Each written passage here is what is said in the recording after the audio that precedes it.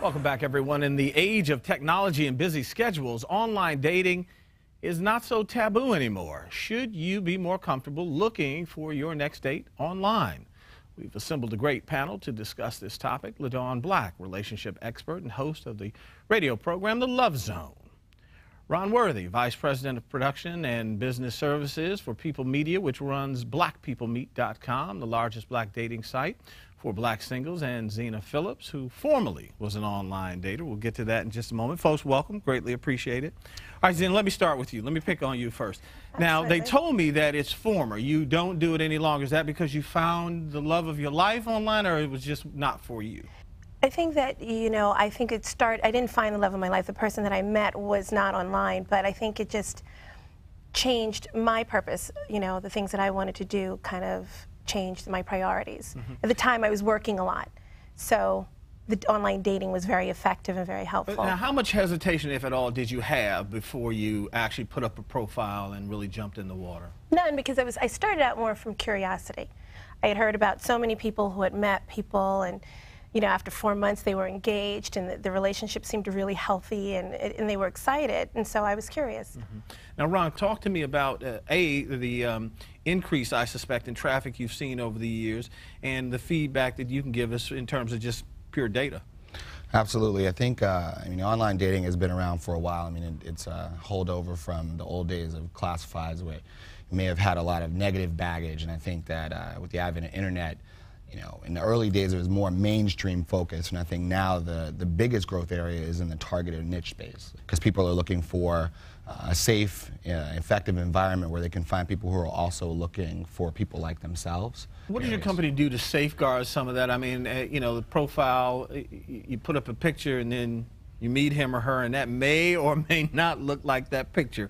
I tell you that I make $250,000 and oops, zero in the wrong place, I make $25,000. How much can you safeguard what's online? Well, you know, the reality is that we provide a, a myriad of, of options on the back end and the front end for the user to you know, make sure they have the safest uh, experience possible. But just like anything else, it's buyer beware, right? You know, you go out and you have to exercise caution and make sure that you know you meet, maybe with a, in a coffee house for an initial date. With you know, make sure you you let people know, just like you would if you met someone in the supermarket and you just you know just happen to meet them and you didn't have any information about them. So yeah, we have a, a full staff that you know make sure that we uh, monitor all of the you know communications and make sure that if people have any complaints about a particular user that we address that immediately. So we certainly address that. Now, LaDawn, you've written books and, and blogs about relationships over the years. You host a very popular radio program in the Baltimore area. But talk to me about uh, this whole idea of internet dating. There is a generation, mine,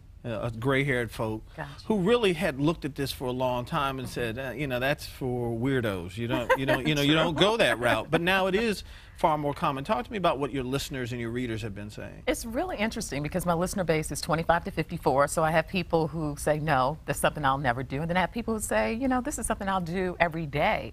I think it really has changed because people are tired of clubs. They're tired of waiting for that random person to meet them at the grocery store. They really want to take charge of their dating, and online dating sites allow you to do that. You can really say, I want this certain height, I want this certain income level, I want this certain, you know, intellectual level.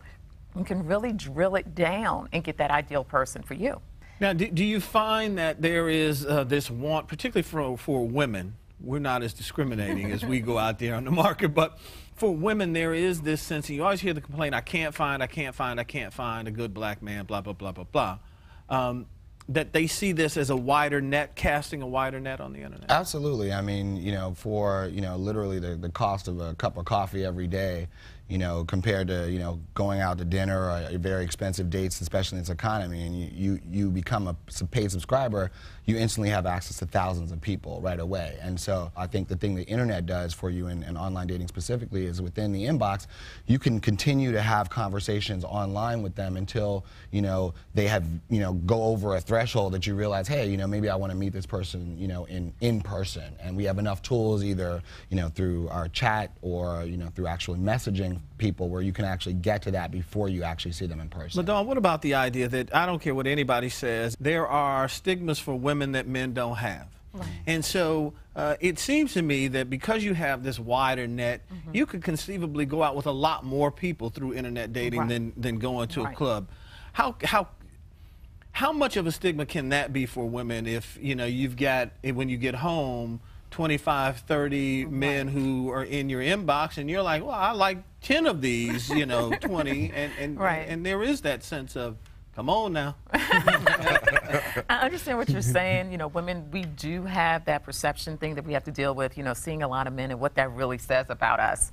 But you have to see online dating as dating. And I think a lot of times we've forgotten about what dating truly is, and that is trying a lot of people out.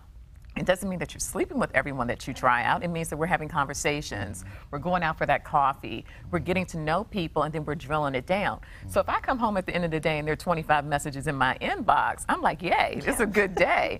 Let's have some conversations. That 25 will drop to 10, and then it'll drop to 5, and then it may drop to 2. But it's all about playing the numbers game, and I really think it's important for women to get into the game. You know, I know we're talking about the like the, the facts and fictions of online dating. I had a blast, and to be honest, you know, the internet is a world of resources. You know, you have your Facebooks and all of these different re- places that you can go to meet people socially and networking. And I will tell you, it is does not just apply to women. It applies to men, and there is a stigma associated with men who are going into their 40s and are not married and don't have children. Mm-hmm. And because the women have a broader option and career wise, money wise, we're not settling these days. You know, so it's not just about us looking for men, it's about us looking for the quality of person that we want to date, whether we choose to make you a friend or a partner. Guys, thanks so much. Greatly appreciate it. Take a break here. Up next, she says knowing your body can save your life. We'll see how this woman saved her own in this week's Slice of Life. I'm able to show them in living color and proof. Denise is standing here alive and well over 20 years.